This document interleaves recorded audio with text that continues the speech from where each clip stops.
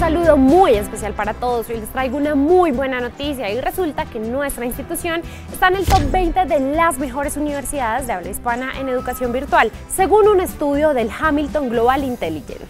Esto se debe obviamente a todo el trabajo en equipo de todas las personas, no solamente que están en virtual, sino de todos nuestros tutores, profesores, administrativos.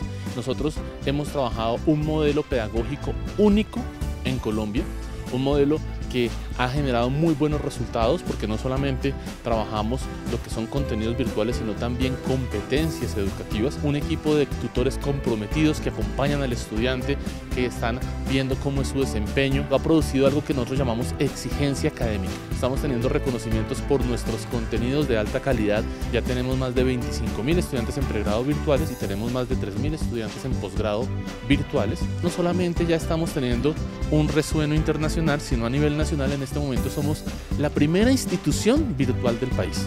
La especialización de gestión empresarial, programa que quedó de décimo dentro de este estudio que se desarrolló, tiene unas ventajas muy interesantes y es que se trabaja por casos.